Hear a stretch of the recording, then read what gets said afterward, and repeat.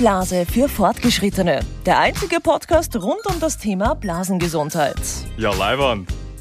Jede zweite Frau erleidet mindestens einmal in ihrem Leben eine Blasenentzündung. Und in den meisten Fällen wird ein Antibiotikum verschrieben.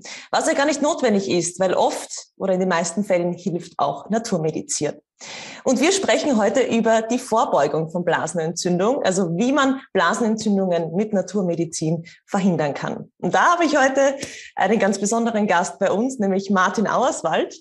Er ist Mikronährstofftherapeut und auch Biochemiker. Ich freue mich riesig, dass du da bist. Hallo. Hi, danke für die Einladung. Der häufigste Erreger bei einer Blasenentzündung ist ja das Darmbakterium E. coli. Mhm. Und wie kann das jetzt in unsere Blase gelangen und eine Entzündung auslösen?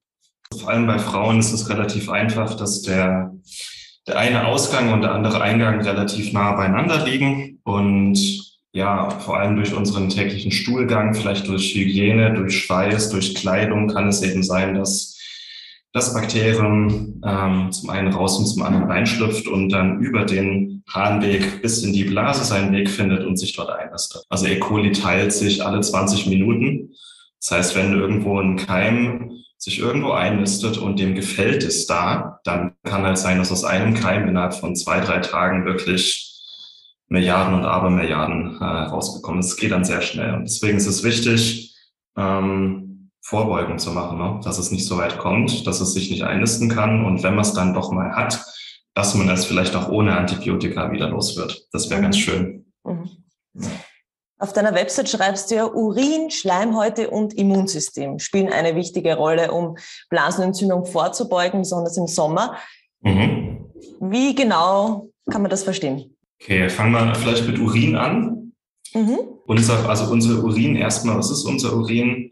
Ist eine Möglichkeit unseres Körpers, wasserlösliche Giftstoffe aus dem Körper auszuscheiden.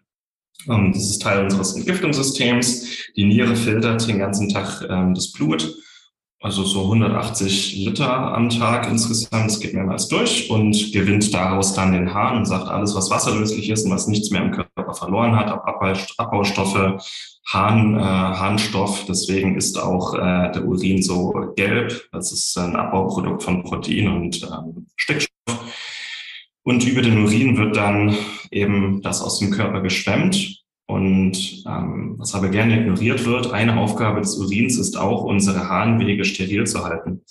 Im Idealfall ist nämlich unser Urin leicht sauer und hat damit auch eine desinfizierende Wirkung auf unsere Blase und auf unsere Harnwege und kann dadurch vor allem so äh, mögliche Krankheitserreger wie E. coli, die da nichts verloren haben, wieder schön äh, ausschwemmen. E. coli mag es ganz gerne so im neutralen Bereich und ähm, bereits mit einer schwachen Säure, aber mit einer gewissen Konsistenz kann man eben seine Harnwege da ähm, schön steril halten und damit auch aktive Prävention betreiben. Das ist einmal der Urin. Und da bin ich auch ein großer Fan davon. Ähm, viele sagen, wenn man den Urin pH-Messstreifen quasi an den Urin hält und der ist sauer, dann heißt das, dass der Körper übersäuert ist.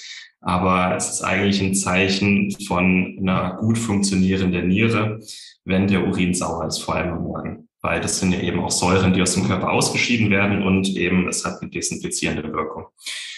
Und wenn wir ausreichend trinken, dann hat er eben auch die richtige Schwemmkraft, um auch ähm, Prävention und Behandlung in einem mit zu kombinieren.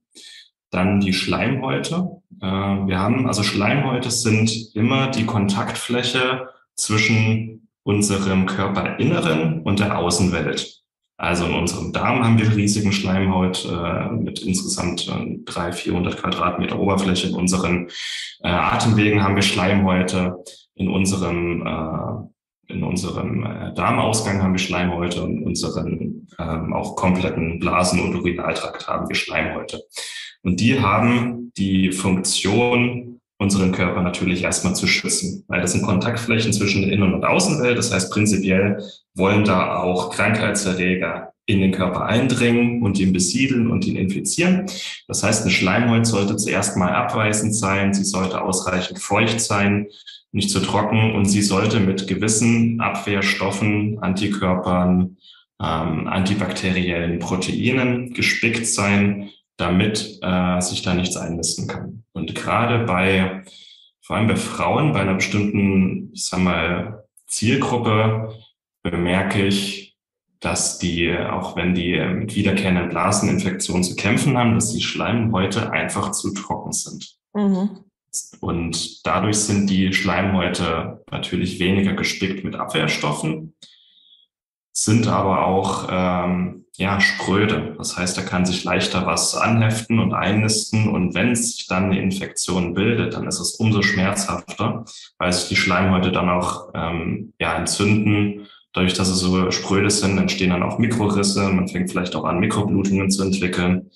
Und im schlimmsten Fall kann das auch dazu zu einer Sepsis führen, also dass die Krankheitserreger wie diese Mikrowunde dann in den Körper eindringen. Und das ist schmerzhaft und dann wird es auch schnell gefährlich. Mhm. Das ist so Schleimhäute. Und wir können auch gern dann darüber sprechen, wie man seine Schleimhäute wieder ein bisschen ähm, ja, abwehr, aufpoliert. Ab, aufpoliert, abwehrtauglicher gestaltet. Genau. Und das Immunsystem ist dann auch eine Bastion. Das Immunsystem ist nämlich in unserem Körper in und um die Schleimhäute herum angesiedelt. Man sagt immer mal, ähm, dass 70 Prozent aller Immunzellen in unserem Körper im Darm sitzen, weil da die größte ähm, Kontaktfläche zur Außenwelt ist. Aber gilt natürlich für alle Schleimhäute in unserem Körper. Und überall hinter den Schleimhäuten und in den Schleimhäuten, auch in unserem Blasen- und Urinaltrakt, sitzt natürlich auch das Immunsystem und äh, verteidigt. Das heißt, wenn, wenn das spürt, da will sich was anheften, einnisten, kann unser Immunsystem da in, in diesen äh, Raum eindringen und quasi aktiv kämpfen. Es kann aber auch sein, wenn sich etwas seinen Weg durch die Schleimhaut in den Körper bahnen will, dass dann auch das Immunsystem da eingreift und ähm, abwehrt. Also im Idealfall ist unsere ähm, ja unsere Abwehrkraft oder unsere Abwehrkräfte vor allem im, im Renaltrakt eine Kombination aus einem ähm, gut funktionierenden Urin einfach, der das Ganze steril hält, aus ähm, funktionellen Schleimhäuten, die verhindern, dass sich da irgendwas anheften und infizieren kann. Und wenn es dann wirklich mal äh, Not am Mann oder ähm, wenn es kritisch wird, dass dann auch das Immunsystem eingreifen kann. Und das ist, das sind so die drei Aspekte, auf die ich mich auch konzentriere bei Prävention und Behandlung von Blaseninfekten und Entzündungen. Ja. Und das Immunsystem kann ja auch schnell geschwächt werden, zum Beispiel durch Kälte und Nässe. Wir kennen es im Sommer, wenn man zum Beispiel ähm, nach dem Schwimmen dann noch seinen Badeanzug anlässt. Viele Frauen, wie auch ich zum Beispiel, kennen das. Ich muss ihn dann gleich ausziehen, weil kalt, Kälte, Nässe ist einfach für die Blase, für meine Blase zum Beispiel überhaupt nicht gut. Äh, warum ist es denn so, dass dadurch dann das Immunsystem geschwächt wird durch äh, die kalte Blase dann? Viele Reize, wenn sie kurz und knackig sind, stärken sie uns. Mhm. Zum Beispiel eine kalte Dusche am Morgen ist gut fürs Immunsystem, aber wenn die Kälte chronisch wird und den Körper eher abkühlt und dann vielleicht auch die Durchblutung äh, in den gewissen Körperbereichen schwächt, ähm, dass die dann auch anfälliger werden. Also wie du sagst, dass sich die ähm, Blutgefäße dann zusammenziehen, oder? Das wird wahrscheinlich genau. der Gründe sein. Das ist dann eine Schutzreaktion des Körpers, dass er nicht auskühlt. Ein bisschen weniger Durchblutung bedeutet aber auch weniger Sauerstoff, weniger Nährstoffe, weniger Immunzellen und es ist wie, ähm, ja, Krankheitserreger sind Opportunisten, die warten auf eine Schwächephase und die merken so, äh, wenn wir eher ausgekühlt sind da unten und äh, länger nass waren, dann merken die das, ne? dass, äh, dass da weniger Abwehrkräfte oder auch weniger Lebenskräfte in dem Moment, in dem äh, an der Stelle aktiv sind und dann schlagen sie natürlich voll zu. Aber es hängt dann wahrscheinlich in erster Linie mit äh, Durchblutung und äh, ja, einer gewissen Unaufmerksamkeit des Immunsystems zusammen. Eine Vorbeugungsmaßnahme ist dann einfach nasse Sachen ausziehen und trockene Sachen anziehen nach dem Schwimmen. Ja. Es gibt ja aber noch andere viele Vorbeugungsmaßnahmen, wie zum Beispiel regelmäßig viel trinken, ähm, schauen, dass die Blase immer schön warm gehalten wird und natürlich auch wieder aufs Immunsystem schauen, so wie du es auch schon angesprochen hast, weil ein starkes mhm. Immunsystem ist gleichzeitig auch eine starke Blase. Und da kommen jetzt zum Beispiel Nahrungsergänzungsmittel ins Spiel. Da gibt es ja einige, die unsere Blase unterstützen. Mhm. Fangen wir mal mit dem ersten an, mit welchem du beginnen willst, wo du sagst, das ist für die Blase wirklich sehr gut und das unterstützt sie auch. Fangen wir vielleicht mit Vitamin C an. Je nach Person haben wir so einen Bedarf von 500 bis 1000 Milligramm am Tag, aber das kann schwanken. Ähm, also Vitamin C ist einmal ein Stoff, den unser Immunsystem braucht, um aktiv zu sein. Das heißt, wenn wir ausreichend Immunzellen haben, aber ein Vitamin C-Mangel oder nicht optimal versorgt sind mit Vitamin C, dann wird das Immunsystem auch nicht aktiv. Sie brauchen wirklich alle Ressourcen, ähm, damit auch die Kaskade am Ende beginnt. Und Vitamin C ähm, wird erstmal im Körper verteilt für lebenserhaltende Funktionen wie Stützgewebe oder die Herzmuskelzellen. Und erst wenn diese lebenserhaltenden Funktionen abgedeckt sind, erst dann kommen so diese Sekundärsachen, die nicht für unser direktes Überleben verantwortlich sind, sondern für ja, die Gesunderhaltung oder auch die Lebensqualität. Und da gehört halt das Immunsystem dazu und da gehören unsere Schleimhäute dazu. Und deswegen empfehle ich auch sehr, sehr viel mehr Vitamin C als äh, zum Beispiel die offiziellen Leitlinien, die so 50 bis 100 Milligramm Vitamin C am Tag empfehlen. Eigentlich, damit der Körper wirklich optimal versorgt ist, brauchen wir so das Zehnfache, so 500 bis 1000 Milligramm. Okay.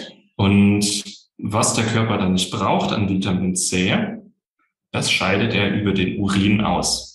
Und das Schöne an Vitamin C, es hat eine schön ansäuernde Wirkung für unseren Urin, ist aber auch ziemlich effektiv antibakteriell. Also deswegen mhm. wird zum Beispiel Vitamin C mittlerweile in viele so äh, Naturkosmetik für Akne eingesetzt, weil es auch auf der Haut einfach eine gewisse antibakterielle Wirkung hat und eine Überbesiedlung mit bestimmten Bakterien ähm, hemmt. Und das Gleiche können wir eigentlich auch für unseren Urinaltrakt nutzen.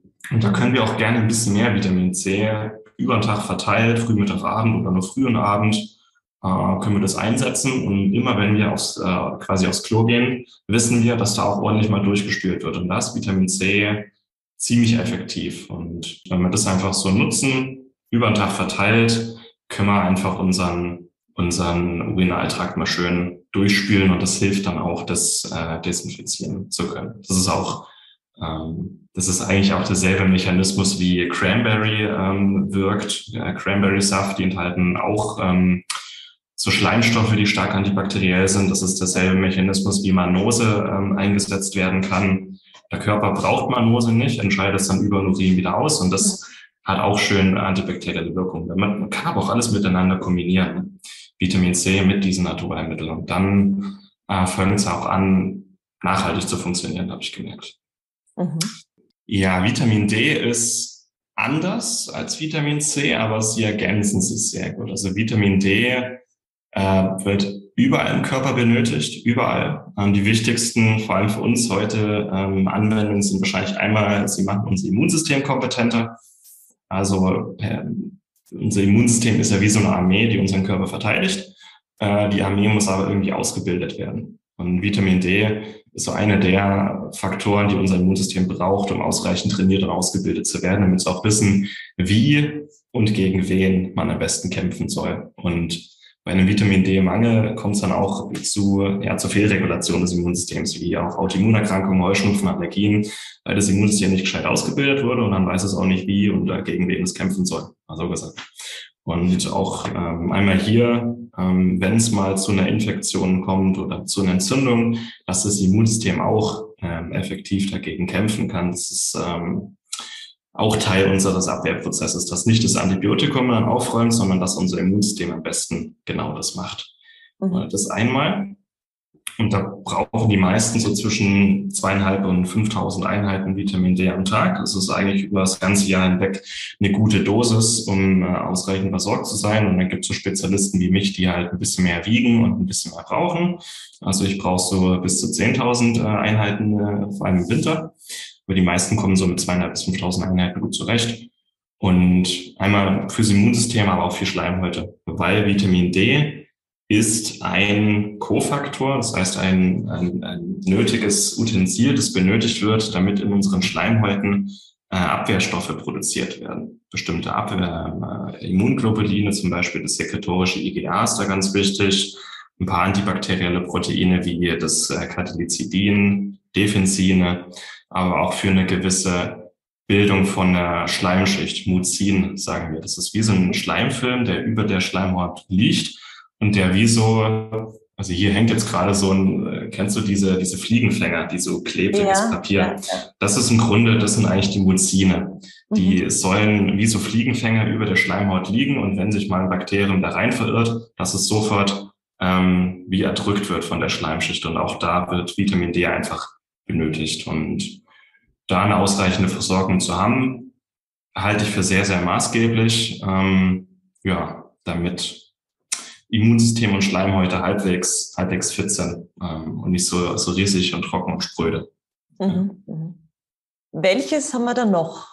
Hilft noch der Blase? Ich finde Zink noch gut. Äh, Zink, äh, ähnlich wie Vitamin D, für ein aktives und trainiertes Immunsystem und für die Bildung von Abwehrstoffen einfach wichtig ist. Und da oftmals, ähm, vor allem hier bei Blasenentzündungen, oftmals mit einer Immunschwäche einhergeht und Zink ein, ja, wie so ein Wachstumsfaktor ist für unser Immunsystem, aber auch für äh, intakte Schleimhäute. Und auch wenn, ähm, ja, wenn, wenn sich eine Schleimhaut mal entzündet oder regenerieren muss, ist auch hier Zink ein Wachstumsfaktor. Also bei, bei Darmentzündungen oder Hautproblemen hat sich Zink mittlerweile rumgesprochen, gilt aber auch für unsere Urinalschleimhäute. Also so 20 Milligramm Zink in der Regel ist für einen Erwachsenen gut und ausreichend. Ist nicht zu viel, aber auch nicht zu wenig. Und zusammen mit Vitamin C kann man zusammennehmen, äh, verstärken die sich noch gegenseitig bei der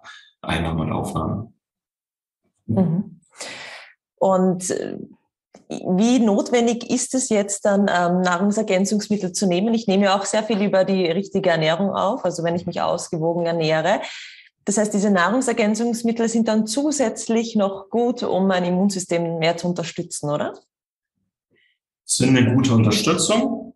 Ähm, gerade wenn es um Nährstoffe geht, ist natürlich am sinnvollsten, die einzunehmen, wenn man auch einen gewissen Bedarf hat.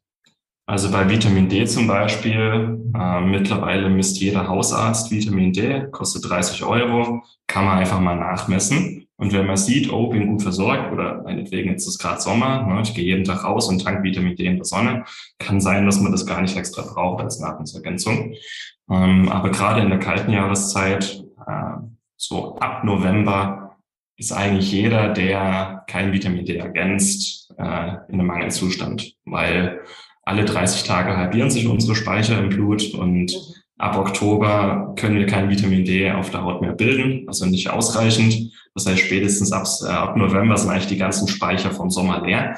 Und äh, da deswegen geht auch im Winter dann die Grippesaison los und gewisse Infektionserkrankungen nehmen dann zu, weil unser Immunsystem einfach im Winter geschwächt ist, überwiegend wegen Vitamin D.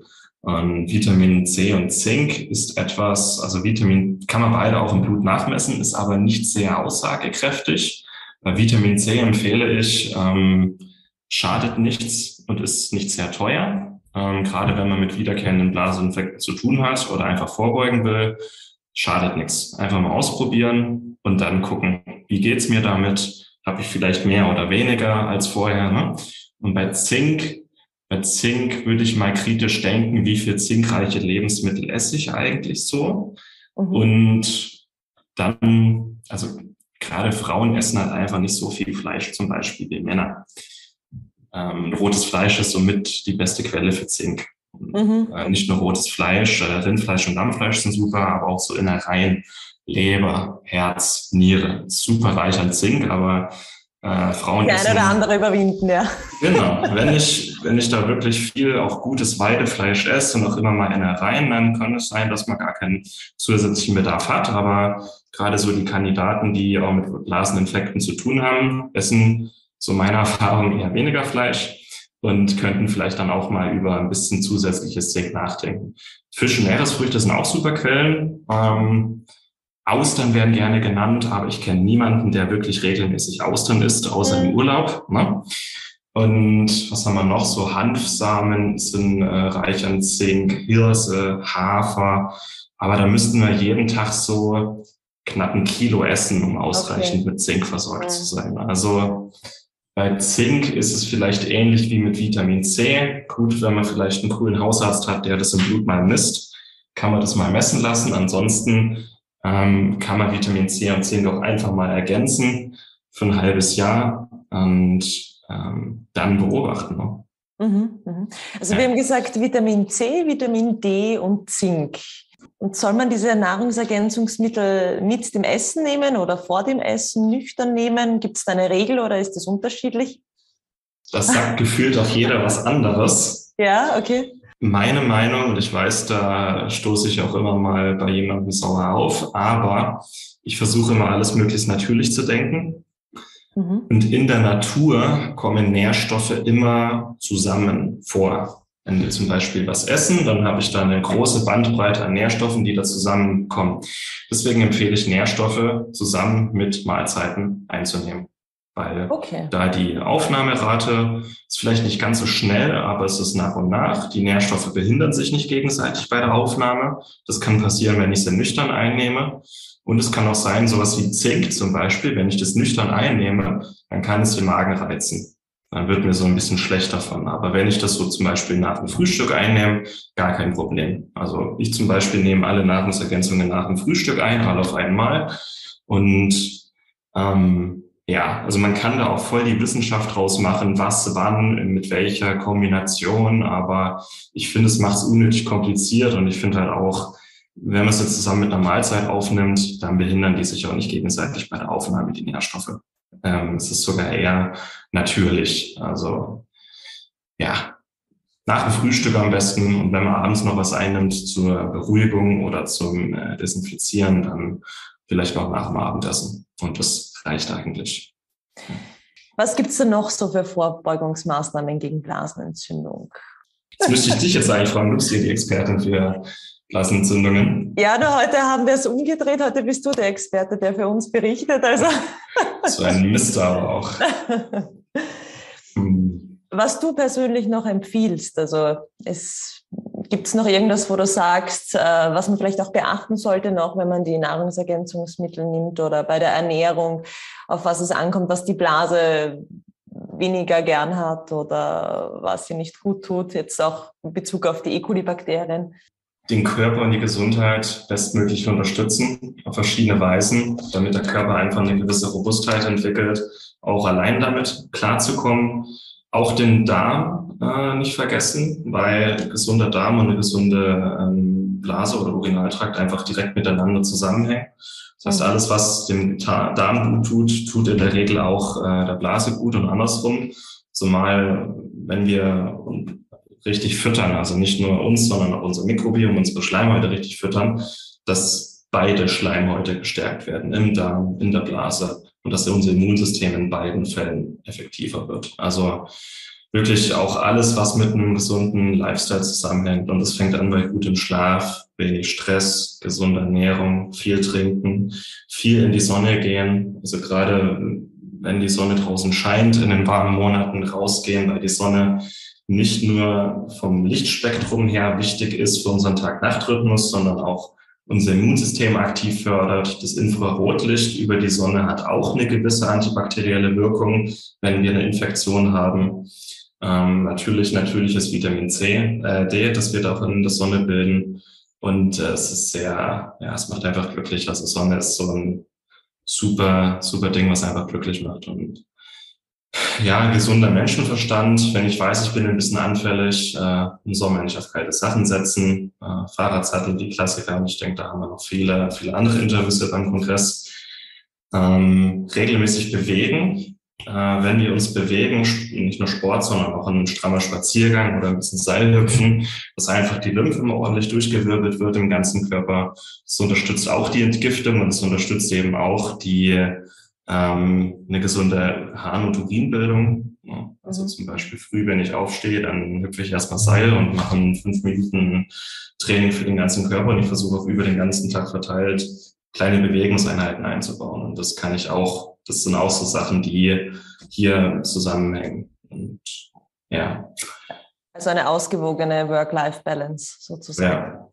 Und wie eine gesunde Ernährung dann aussieht, es gibt verschiedene Wege, sich gesund zu ernähren. Ich bin der Meinung, dass es da nicht den einen Weg gibt. Es sollte halt möglichst natürlich und unverarbeitet sein und bunt, nährstoffreich. Und dann sind noch viele Stoffe enthalten, eine große Bandbreite an Stoffen, die unser Immunsystem braucht, die auch unsere Schleimhäute brauchen, die äh, unser ganzer Körper braucht, um nicht zu Entzündungen zu neigen. Weil wenn wir gerade, wenn wir mit chronischen Entzündungen zu kämpfen haben, ähm, durch Nährstoffdefizite, durch ungesunde Ernährung, durch Stress, durch äh, Schwermetallbelastung, diese chronischen äh, Schwerbrände im ganzen Körper, die machen, dass unser Immunsystem und unser Körper im Grunde seinen, seinen Fokus verlagern muss. Ne? Dann haben die überall plötzlich Feuerwehreinsätze und dann, wenn es mal wirklich brennt, im, in der Blase zum Beispiel, dann sind die einfach nicht so schnell und so effektiv zur Stelle, wie mhm. sie vielleicht sein könnten. Ähm, das heißt, eigentlich alles, was wirklich dem, der Gesundheit zugutekommt, also eine gesunde, eine gesunde Blase entscheidet sich nicht nur an äh, Vitamin C und äh, Cranberry-Saft, sondern eben an allem, was den Körper irgendwie gesund hält. Und ah ja, ein Geheimtipp habe ich noch. Ähm, ja, gerne. Ähm, trockene Schleimhäute, vor allem bei Frauen, hängen mit einem sehr niedrigen Estriolmangel zusammen. Estriol ist ein äh, Abbauprodukt von Östrogen. Estriol ist ein in dieser dieser Signalstoff, der der Blase sagt, ähm, mehr Schleim zu bilden, mehr Abwehrstoffe auch zu bilden. Und Frauen mit Blaseninfekten und trockenen, spröden Schleimhäuten haben meistens auch einen starken Estriolmangel. Und ein Lebensmittel, das den Estriolgehalt sehr direkt und sehr nachhaltig erhöht, ist Leinsamen. Okay. Also vielleicht noch so ein, zwei Esslöffel Leinsamen kann man jeden Tag irgendwie in die Ernährung einbauen. Ins Geht Müsli, das mit Öl ins auch? Salat. Mit Leinsamenöl? Es Hat ist, dieselbe Wirkung? Es ist nicht dasselbe. Okay. Ähm, es ist irgendeinen Stoff in den Körnern selber, der wirklich das Estriol in eine gesunde Richtung nach oben drückt. Und so ein, zwei Esslöffel ganze Leinsamen und das jeden Tag. Das ist auch super für den Darm, aber ähm, hilft eben auch die Schleimhäute von innen heraus ein bisschen äh, zu nähren. Also so wie Leinsamen so einen Schleim bilden, wenn man sie in Wasser einweicht, so kann man sich das vorstellen, unterstützen sie auch die Schleimbildung äh, im Urinaltrakt. Mhm. Ja, perfekt. Mit diesem großartigen Geheimtipp, glaube ich, haben wir alles super zusammengefasst, Martin. Vielleicht noch ein, ähm, ein, ein Satz zu Qualität. Wenn ich zu Nährstoffen greife, dann nicht die deutsche Billigmentalität, nicht das erstbeste Billigpräparat im Internet kaufen, sondern auf Qualität achten. Das ist wirklich so Qualität achten von dem deutschen Hersteller aus deutscher Produktion, wo man weiß, was drin ist, wo man weiß, dass die Sachen bioaktiv sind, dass es der Körper auch verwenden kann äh, dass es rein ist, dass es ein gutes Preis-Leistungs-Verhältnis hat, also nicht zu viel, nicht zu wenig. Geht es einfach direkt zu einem guten Hersteller und haben alle mehr davon. So ist es. Ja, dann vielen Dank, Martin, fürs Interview. Danke für die Einladung. Ich hoffe, es war hilfreich und ich hoffe, mein, mein Licht war nicht ganz so wechselnd. Ja, viel Spaß noch. Danke euch.